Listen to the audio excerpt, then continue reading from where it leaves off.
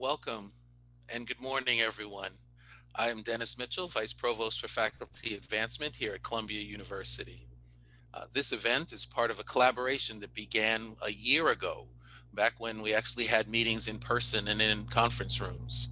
Uh, my team and I met with Stephanie Rowley, the Provost at Teachers College, Ariana Gonzalez Stokas, the Vice President for Diversity, Equity, and Inclusion at Barnard, and their colleagues to plan events to bring our faculty together and provide opportunities to share their expertise.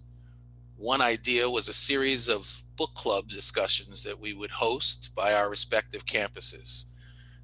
Then, of course, COVID hit and everything changed. Then racial unrest that was inflamed this spring and summer by the police murders of George Floyd, Breonna Taylor, and, and so many others. All of our plans seemed suddenly insignificant in comparison, and we could no longer continue our work as usual. Uh, we began to ask ourselves and each other, uh, you know, the really important question, what is the role of higher education in addressing systemic racism? Uh, and this summer, we held a panel discussion with that title, moderated by journalism professor June Cross. During that conversation, June recommended that we consider reading the book, How the Irish Became White. The book traces how Irish immigrants who fled persecution in their country achieved acceptance in the US in part by adopting the American culture of oppression of African Americans. Unfortunately, June cannot join us today due to an emergency, but we are joined for this discussion and pleased to be joined by Interim Provost Ira Katznelson, the Ruggles Professor of Political Science and History, as well as Rebecca Kobrin, Russell and Bettina Knapp, Associate Professor of American Jewish History and the Director of the Institute for Jewish Studies, and Timothy Patrick McCarthy, Lecturer and Core Faculty at the Carr Center for Human Rights Policy at Harvard University. Thank you all for joining us today. We will begin with a panel discussion followed by a Q&A and then we will plan to have about 45 minutes of book club discussions in separate breakout rooms for faculty, students, and staff. The panel discussion will be recorded, but the breakout sessions will not be recorded. If you have questions, please post them in the Q&A at the bottom of your screen, and we will curate them to ask in the Q&A session. Our first question, which I would like to ask to Ira, then Rebecca, and then Tim to address is how the Irish Became White was originally published in 1995. What is it like to read the book now, 25 years after its original publication? What is its relevance in light of recent events? Uh, thank you so much. Warm thanks, Dennis, for your leadership and, and guidance, uh, especially at this uh, deeply uncertain time.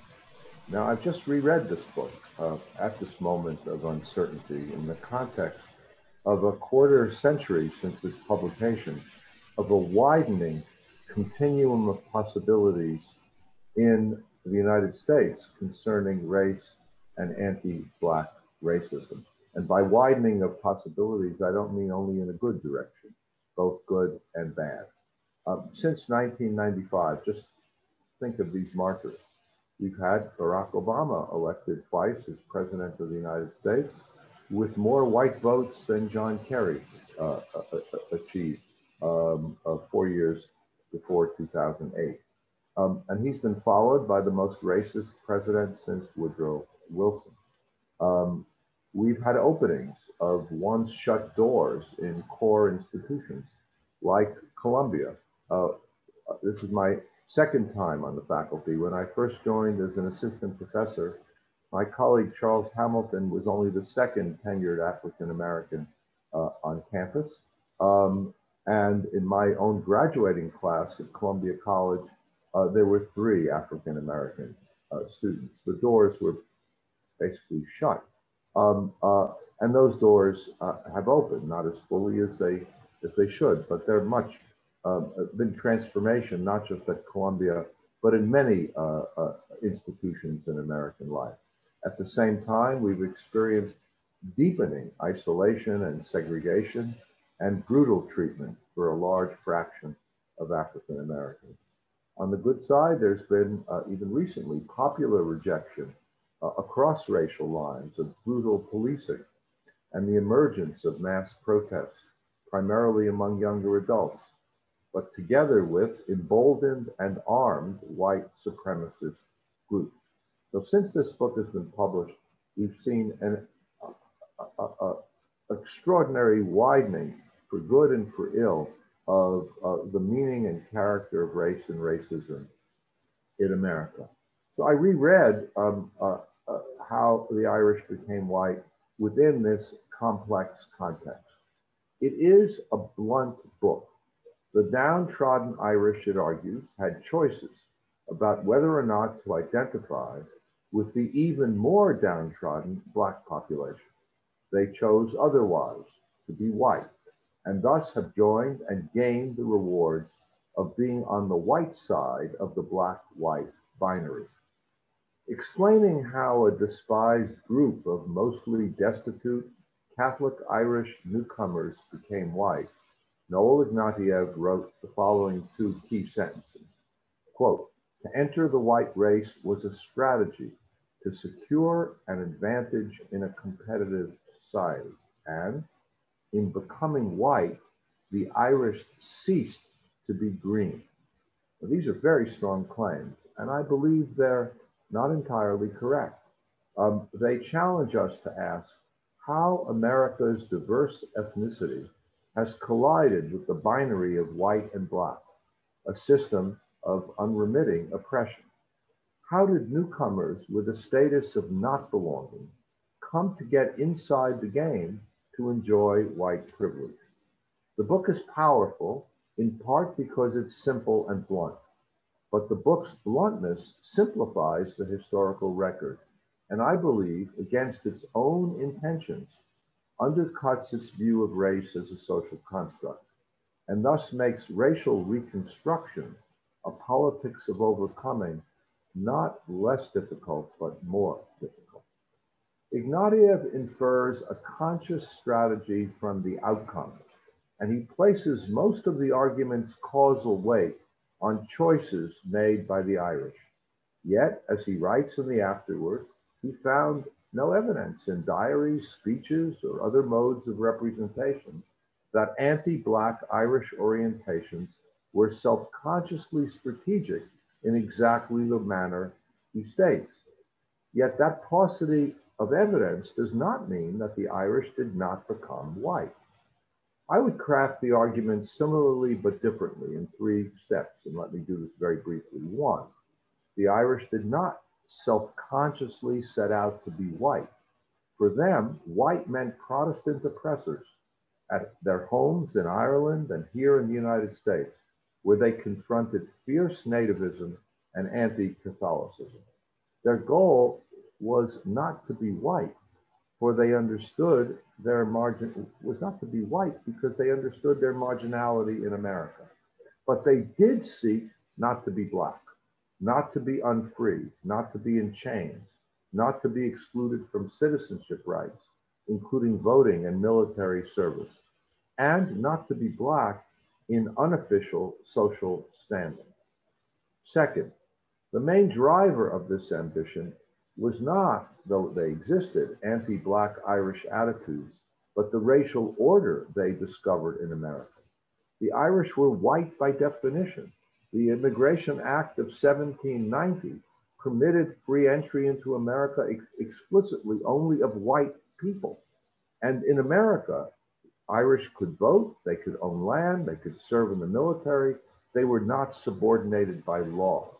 In the main, I would argue, racism was not so much a matter of Irish racism, if you like, was not so much a matter of Irish choice, but an unavoidable and official reality buttressed by law and violence, official and unofficial. Third and last, in seeking standing in America as not black, the Irish did not stop being green by becoming white. What they wanted and achieved was to become Irish American, secure in a distinct identity and patterns of culture, while also being recognized as American.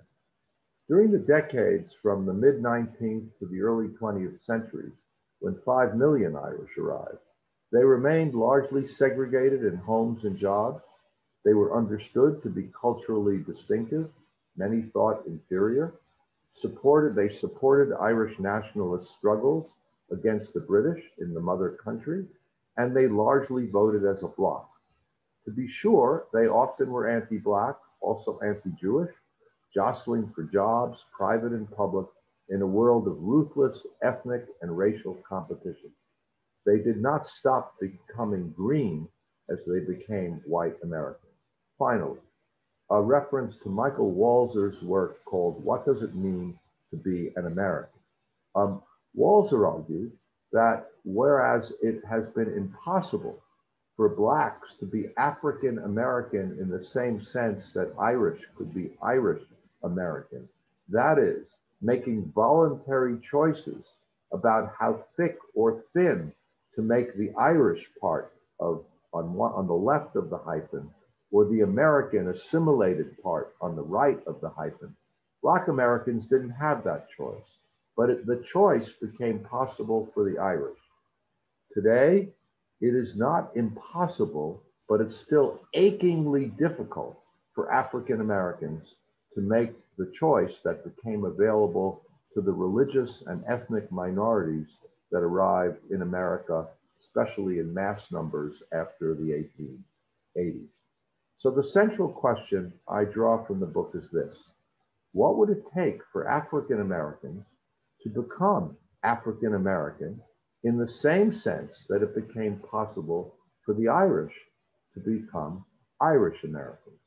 Where the degree of thickness of identities on both sides of the hyphen are not matters of choice imposed by legal, political, economic, and cultural powers that repress. This to me is the test of anti-racism, the quest to overcome white supremacy and white privilege. Um, can the Walzer model of what it means to be an American be available to African Americans the way it has been to white newcomers to the United States? The answer is not obvious. Thank you.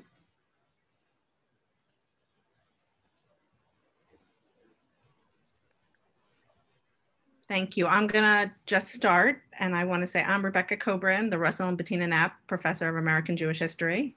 I want to thank uh, Dennis for this invitation.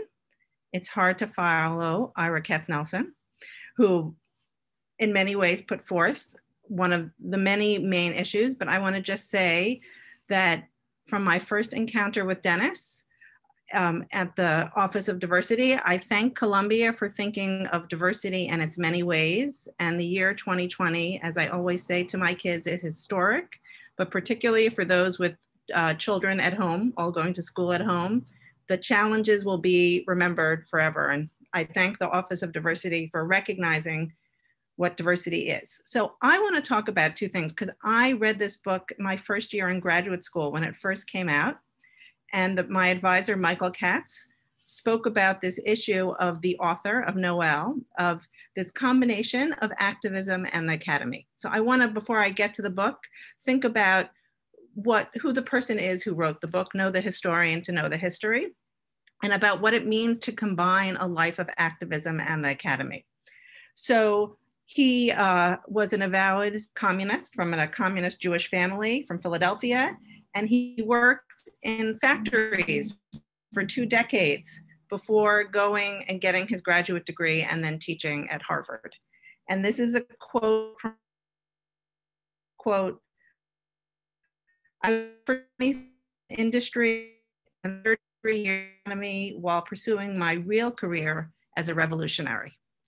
And I want us to think about, and I apologize if my internet uh, breaks up, is what it means for this Marxist radical and what he is trying in this book and the questions it raises about what I think and what I want to talk about is the central premise about race and racism as a construct. And this is from his afterword. He writes, the reader will note that I have written a book about racial oppression without using the term racism. I consider the term useless. And then he quotes Barbara Fields, who has informed so much of what I think of this. Uh, as Barbara Fields points out, is applied um, to the view that one race is inferior to another, as well as the direct opposite, the view that members must be held down because they are superior has been devalued to mean little more than personal preference for one complexion over another. That's what he argues. And I think when we reading this 25 years later, I thought first of this understanding of what academics are doing and the role in activism, but more of what blossomed after this book is a whole field which became known as whiteness studies of thinking about the construction of what it means to be white in the United States, which has been um, critiqued. And I agree with Ira's notion that it is a very blunt book. But I want us to be thinking about as we go forth the whole constructs and concepts of race, which are extremely useful and racism, but what they obscure and what they reveal, and how they are used in this book and how they are used when we widely talk about um, different issues, both in society today and in the past. And I just want us to, the way I have read him, and I think that uh, Ira touched on this, the long history of, it's not just Jews, but Jews in leftists and left in thinking about how race operates in the United States is a much larger topic. But this is a quote from what he wrote and this is from uh, end of the book. The greatest ideological barrier to the achievement of proletarian class consciousness, solidarity, and political action, and now is now and has been historically white chauvinism. White chauvinism is the ideological bulwark of the practice of white supremacy, the general oppression of Blacks by whites. Indeed, I would argue that this book is trying to put forth slowly and methodically for the antebellum period, a period in which we have to understand slavery is still in existence as an institution in the United States, and Irish are coming and, and becoming jurors. And most of the book, I want to just say this is part of my critique, focuses pre um, the Emancipation Proclamation. And I think it's more interesting to be thinking about what happens in the late 19th and across the 20th century. And I hope that that's what we can think about. But in many ways, for him, he is arguing, and I use Marx's term, that the opiate of the masses in the United States is race and white supremacy. And that is something I think that speaks directly to what we are seeing today. And thinking about this is his idea of how it obscures for people their common fate within, as a Marxist, in the capitalist system. So I think his take on these very, very large issues by looking at the Irish is what is uh, interesting and exciting to be thinking about. Because the Irish, and I'm just going to share my screen for two minutes, because I think it's important to understand um, the different images used. He has some cartoons to describe this group and what that says about how the United States, in which different constructions of different groups in racial terms have been used to both include and exclude them in the nation. And, and what that means, I'm sorry, I'm just gonna share my screen for one minute. So the questions I just wanna leave with is I am more interested, the book focuses primarily up until the Civil War and then has one chapter that looks in the, in the immediate post-war reconstruction period. But for me, I'm most interested across the 20th century in which Irish are still being constructed in different ways. And this is from Harper's Weekly. All, all my cartoons or images come from Harper's. And what it says about the way in which Americans are um, visualizing difference and diversity. And this is what I love about um, book club for this, how diversity is imagined. So we see this, this is, um, as you know, it's all ethnic groups um, get applied to understanding how they look. And I think it's always, as he noted, in comparison, right, to African Americans. And I just, I only have a few images, but I love this, this image is from Harper's uh, Weekly, right? Thomas Nast, he's a very famous cartoonist from the late uh, 19th century. This is a, um, a depiction of what Irish look like when they celebrate Easter. It comes right after Easter. And it's supposed to be saying that they're rowdy and they get drunk in contrast, right, to the way Protestant America celebrates Easter. And I just want us to focus, right, on this person and this notion. And this is something for anyone who teaches uh, racism, Jewish history, anti Semitism, the notion of dehumanization of people who are seen as being different for whatever reason that is. And the cartoon, I think, speaks volumes. And if we can go back to here, the notion of understanding physiognomy and what that means and seeing diversity of humanity in ways that really then get applied to so many different categories. So if I'm gonna leave with a question, I would say that does this book really achieve what he said by not using racism or race and make us question that category, which has been so central both in the period that he's talking about, but I would say across the 20th century, to how Americans understand their nation, divisions in their nation, and the world around them. That's one. And if he shows that we should throw this out, and then I'm gonna be speaking about, and he he says this, is that part of what he had intended in the book is to use the Irish as a way to have the Academy address the failure, and this is a quote, to locate slavery and freedom in the proper place in the history of the American working class.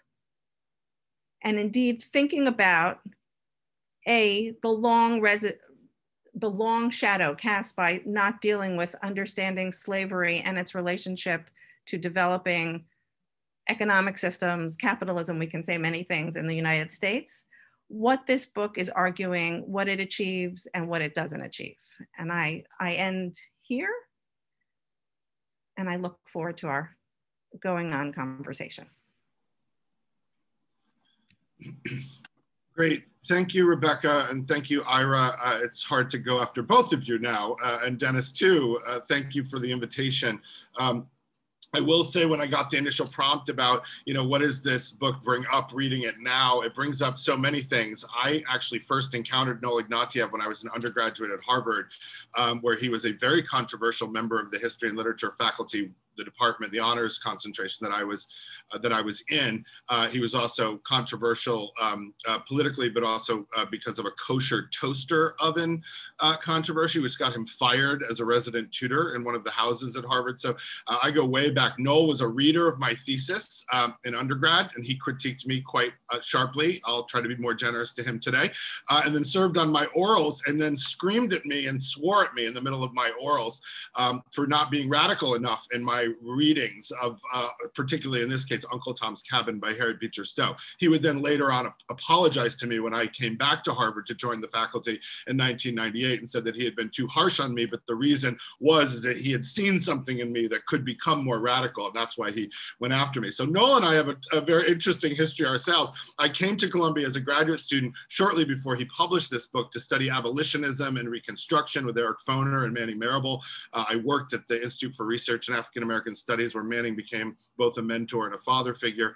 Uh, and also at the time where Columbia was, in many ways, um, a, a, leading force in the emergence of critical race theory and critical race studies, which is, I think, deeply interrelated to the emerging field of whiteness studies. And I think that's an important thing to, to think about is the ways in which these different fields, whiteness studies, critical race theory, African American studies are all a labor theory, labor history, and the new labor history. We're all really in conversation with each other, right? Not just through a Marxist lens, but through a Black Marxist lens and other post colonial theory and so forth. So, this was a moment in the late 80s and 1990s and beyond where these emerging new fields that were really critically studying racial formation, uh, racial prejudice, systems of oppression uh, were very much uh, interrelated.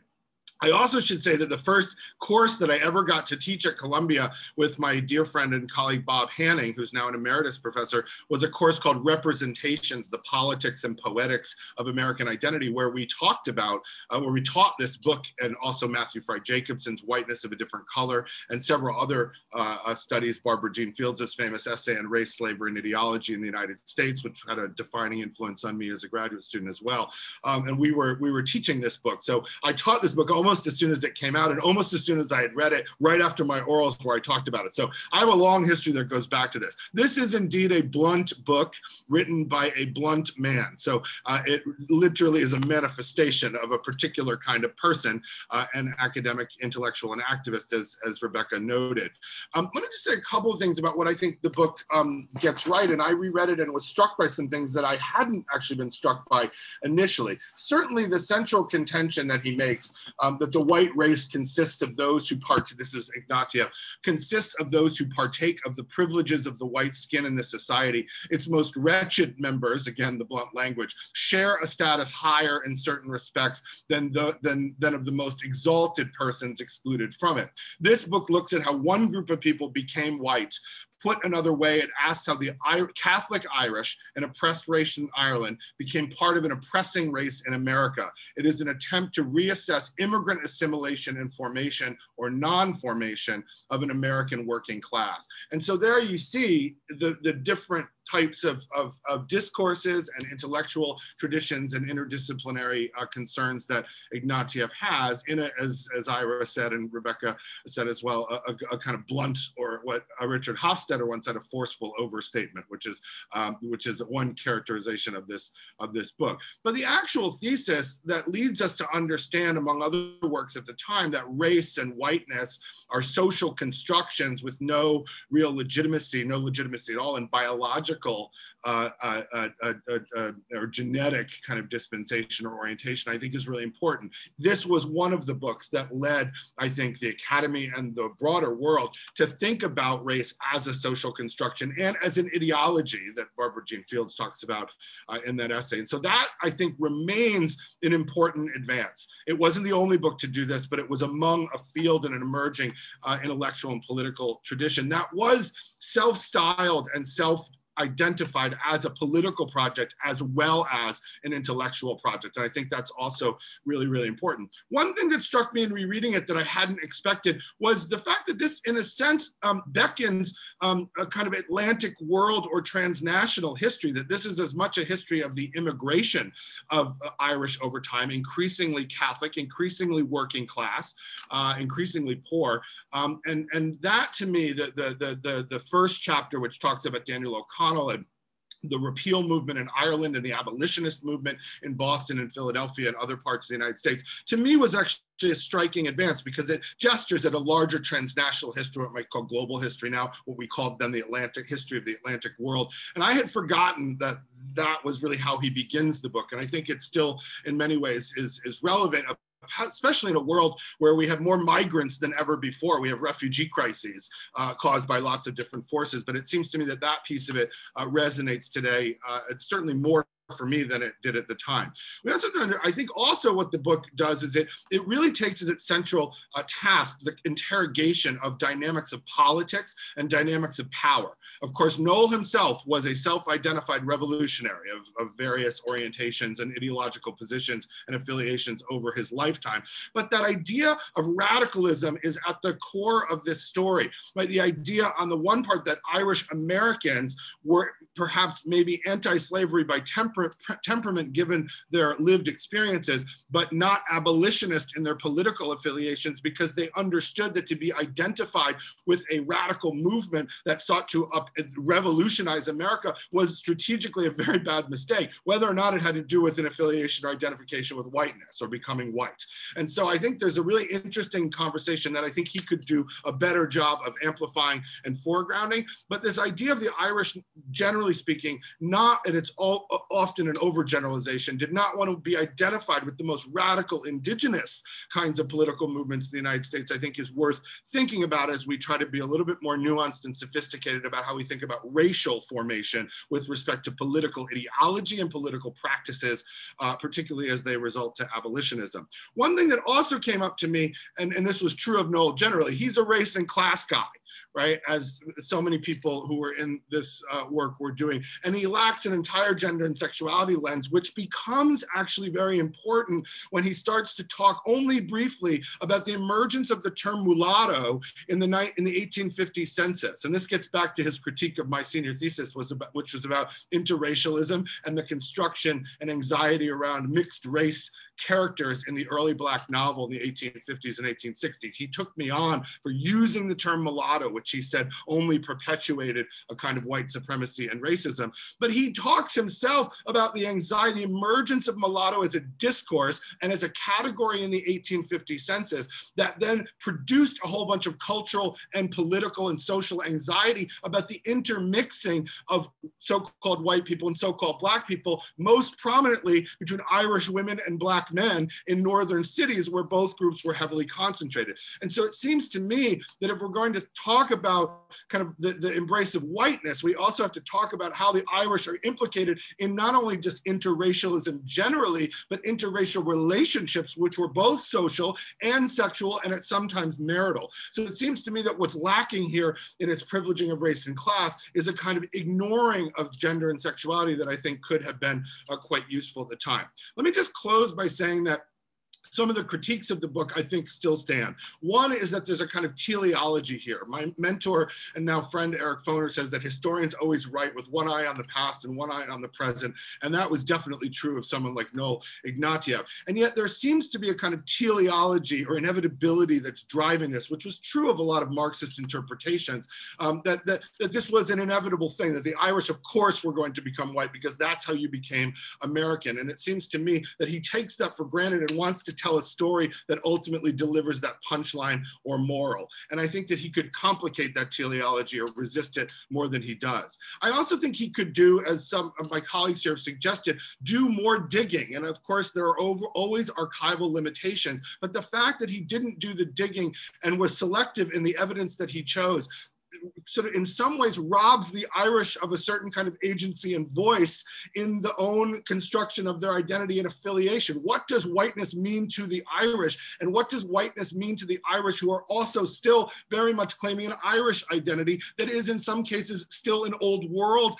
identity and also a contemporary world identity caught up in the politics of Irish independence, the politics of Irish radicalism back in Ireland itself. So it seems to me that that's absent and that flies in the face of a claim that he's trying to restore agency to the Irish, and he, in, at the same time, simultaneously in the teleology of whiteness, uh, robs them of that agency itself. And then the last thing I want to say is, is something that makes it relevant to today, that, the, that this is a book in a world where we're talking about anti-Black racism and Black Lives Matter and white supremacy culture and systems and systemic racism and systemic oppression. How does Noel Ignatiev's call to not use the term racism fit into this? How does Noel Ignatiev's call to dismantle and abolish, destroy the white race? He said in his journal, Race Traitor, treason to whiteness is loyalty to humanity.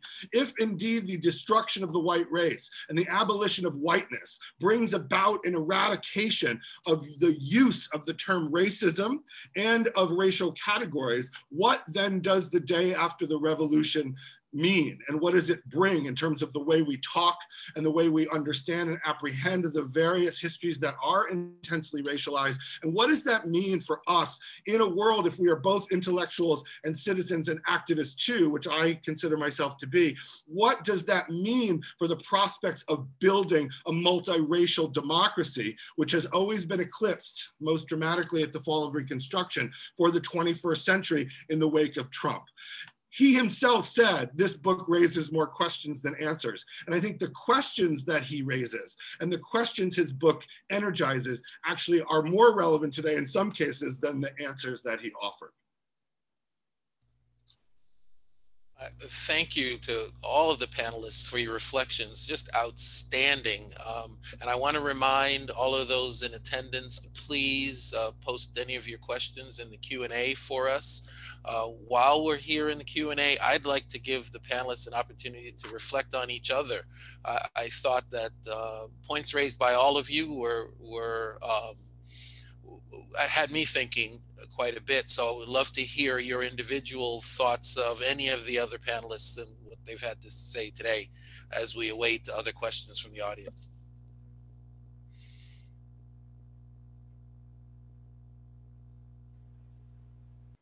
Um, I, I, was struck by one more word that's mostly absent. Um, a word that, a concept that was invented in the early 20th century to designate uh, persons like the Irish, like Southern Italians who came to America, like the Jews who came from East and Central Europe, the, the term ethnicity, um, which was meant to designate difference in the in the in the kind of liminal in between zone between white and black. That is, it was not possible to simply reduce um, uh, a Neapolitan newcomer or a Sicilian peasant uh, to the category white um, uh, as if um, that person or those persons were identical somehow uh, categorically and substantively to um, uh, the great majority of Americans at the time. Um, uh, and uh, it seems to me that one of the challenges of this book um, conceptually and politically um, is to think about the relationship between the complexity of ethnicity and the simplicity, the willful simplicity of uh, anti-black racism and the divide between white and black. Um, and the, the, the challenge of the book, not the answers so much, but the profound challenge of the book is to ask us as as both um, uh, uh, Tim and uh, Rebecca, each in their own way, emphasize the complexity of the relationship um, between um, uh, the, the, the, highly um, uh, rigid, simplified history of the racial divide um, and the, you know, you were black or white. Um, uh, you might get the pass, but you're still black if you're found out, as it were. Um, uh, and that the rigidity of that line, in, instantiated in law and in violence um, and in policing of various kinds, and the complexity of belonging for the new the newcomers um, who weren't simply white, but also certainly were also not black. That seems to me to be a great challenge. Um, and as I ended my remarks, uh, the challenge of the meaning of the, the shift of terminology toward African Americans signified in part, and Jesse Jackson often made this point, the, the wish for blackness to also become an ethnic and not just a racial identity. With, with pride in origins, um, with acknowledgement of Africa as, as home, and as um, uh, the American African American community as diasporic in the same sense that the Irish had a diaspora, uh, the Italians had a diaspora, and the Jews had a diaspora. So I was challenged by your remarks to think hard about those questions. Um, uh, and thank you for that. Can I, I just want to respond to what Ira and just add something and, and seeing the question you know, I think that one of the shortcomings, and uh, Tim mentioned this, there's a very teleological, and I'm going to say this, black and white Marxist vision of this book and how the argument is constructed. And I would say that um, when I actually teach it, I think where the field has moved is that it is too uh, black and white in understanding race and understanding the complexity of what, what Ira was saying about ethnicity, but how many, many different groups, right? This is a story of how the Irish become, quote, right, white, but is it similar for Germans, Poles, Italians, or how is it different? or is it the same? And then I want to just say Asian Americans, and this is why I, I, I focused on the post uh, Civil War period, is that it is not only about understanding how African Americans are discriminated against on many levels, but also how federal legislation constructs and then discriminates against Asian Americans. So I think that that if we want to use this book to raise larger questions, is that's thinking about what he puts forth and his arguments, but then thinking about how more complex it is. And some of the more recent literature takes on that complexity. I would just to pick up on on this conversation. Um, I too think that there, uh, as I said, you know, anytime there's a blunt book by a blunt person, there's room for nuance and complexity. But I also think that one of the things, the some of the bluntness is actually, I think, helpful, right? And the way that, and, I mean, Nell Painter and her History of White People, which is brilliant, too, highly recommended. And I often will teach this and that together. Uh, you mentioned before what other kinds of things might you pair with it. That's one. Um, is you know talks about you know that whiteness, right? Or that white identity is in a sense not so much about whiteness or fair skin or phenotypical or physiological dimensions, but it's it's it's an attempt to articulate a social identity and privilege and practice that's not black explicitly within an American context of anti-blackness, um, and and that is blunt, right? The bi- the racial binary of that are, there are only white people and black people, right? Does exclude and and downplay or elide a lot of the distinctions and nuances and complexities we're calling for, but it also points to something that Ignatiev I think does well is that whiteness is used as a cudgel, right? Whiteness is used as a tool. He says that it's not that that white privilege is not just, um, you know, it's not just the ideological bulwark or or of the practice of white supremacy. It's the tool with which in his case, the bosses or the master class or whatever category you use for the people in power to divide and conquer, right? To not just oppress black people, but to use whiteness as a way to divide and conquer. And so people who can claim whiteness, right, do as a as a as a form of as what Du Bois said as a wage or a, a, form of property right of some kind of privilege even if that doesn't mean that they're going to be the bosses or the master class themselves right within a capitalist system or even a kind of a system of racial supremacy um, but that they get closer to it or at least they get further enough away right, from the people they're defining themselves against. And that sometimes that doesn't have nuance at all, that the use of whiteness as a kind of tool to divide and conquer, um, which Nolan would articulate as a kind of um, a way to, to undermine the possibility of revolution in a kind of Marxist sense or, or anti-capitalist sense. Um, is really on the table here. And I think that as we search, as scholars do, for the complexities and nuances of ethnic formation and racial formation and the history of group uh, identity and, and so forth and immigration and so forth, that we not lose track of the, uh, lose sight of the fact that, that race has always been used as a blunt instrument to divide and oppress. Just fascinating. Oh, I, I see you uh, with, go, go right ahead. Two very quick points. Um, I, I, these terrific comments of my colleagues. Um, I would say first that um, uh, the Second World War um, and the suburbanization that followed the war transformed the meaning of ethnicity and whiteness um, and uh, created, as the work of, among others, Gary Gerstle showed uh, in his study of, uh, of Rhode Island, um, and many others, that um, uh, as the situation altered, um, uh, the, the dynamics of a group identity and the construction of identities was transformed.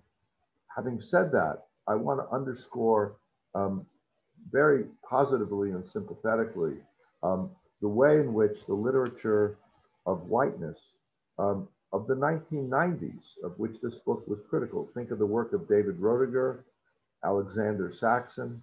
Um, they brought race directly into studies from which race had been absent. Labor studies, working class formation studies um, had proceeded as if the racial divide in America had nothing to do with them. And this book, this kind of in your face book, um, the power of in your face sometimes is, is spectacular because it forced the development of subsequent intellectual complexity to not ignore what had been ignored for many decades in the academy, whereas the studies of race was seen as somehow separate from, rather than an integral part of not only labor studies, but the studies more broadly of American political development. Um, so for that, a great favor was, was done by Ignatiev, by Roediger, by Saxton and others, notwithstanding any shortcomings that some of us think exist. Can I, can I just add one quick thing? Um, I also think that's very true, and I, am glad you name checked those folks. I also think it's really important to understand that Roediger and Ignatiev and Saxton and, and folks, Theodore Allen, many folks um, have are are explicitly indebted not just to to black academics and intellectuals who come out of an African American studies tradition or what Manning Marable always called black studies tradition or black freedom struggle. It also is indebted to the white authors and activists who came before, like James Baldwin and Toni Morrison and James Weldon Johnson and uh, uh, um, uh, David Walker, Frederick Douglass, Sojourner Truth, so many people over time, uh, right? I mean, it, James Weldon Johnson in, in the autobiography of an ex-colored man, which I wrote an essay on in graduate school uh, and taught in, in my representation seminar with Bob Hanning, he said that you know, black people know more about white people than white people know about themselves right? And part of the undoing of the system is to is to is to get rid of your miseducation, right? And and Baldwin talked but how, how, how black people have operated as a fixed star and when they move out of place, right? The whole worldview and imagination of white people gets torn asunder, right? David Walker talked about, you know, he, he, he went right at a critique of Thomas Jefferson that just eviscerated Jefferson's white supremacy and racism. So I think it's important when we talk about whiteness studies scholars, many of whom are white, right? And, and come out of a Marxist tradition, many of them are white men who come out of a Marxist tradition, that we not lose sight of the fact that they are deeply indebted, always were and still are, to the field of critical race theory, of African American studies, and of a long Black freedom struggle um, that has, in, in, in its sense, illuminated whiteness and white people and white supremacy and white racial categories more than white people or whiteness studies people could ever do. Just wanted to say that. Hi. Um, I'm just, uh, I just want to do one final thing. And just to note and I'm going to now call out also Ira Katznelson, who I read in my first semester of graduate school, the issue of politics, because I want to relate it to the moment. And I think Noel's treatment of Tammany Hall really was excellent in understanding how political machines work in this entire system of constructing a new identity for the Irish. And Ira Katznelson's City Trenches, I read two weeks after that and thinking, I mean, he deals with New York, but in the moment that we're dealing with, thinking how politics, politicians, political machines, how they work and how they are part of understanding this larger story. So I just wanted to say that I think that is one of the strong parts of the book just a fascinating, fascinating back and forth and discussion from you all panelists, and I'm incredibly grateful. Clearly, this is a conversation and discussion that needs to continue. It uh, it will in many formats. I think that we will try to transition now to the individual work groups uh, so that we can have those converse, additional conversations. But we're expecting all of you in the audience. Uh, uh, scholars in particular and students especially to uh, continue this conversation outside of uh, today. Um, it's it's it's clear that this is a, a, a book that uh, extends well beyond 1995. I'm going to introduce you now to uh, a team member of, of mine, Adina Brooks, who will just go through the logistics and, and navigate us to our next uh, workroom. Thank you. And uh, thank you to all the panelists um, for your amazing contributions today. So in the chat, there are already links to the three breakout rooms. Um, there'll be different Zoom meetings, one for faculty, one for staff, and one for student. They're up on the screen as well. Um, but they are easily found in the chat, so you can link right to them if you haven't already registered. In about two minutes, we're gonna hop over there um, and uh, talk more and continue this conversation um, as students, as staff, and as faculty. But um, in the meantime,